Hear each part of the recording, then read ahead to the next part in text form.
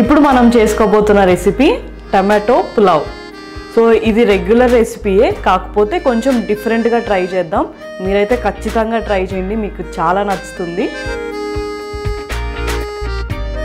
ఈరోజు మనం చేయబోతున్న రెసిపీ వచ్చి టొమాటో కాజు మసాలా దీన్ని మనం ఈజీగా ఇంట్లో ఎలా ప్రిపేర్ చేసుకోవాలో నేను మీకు చూపిస్తాను.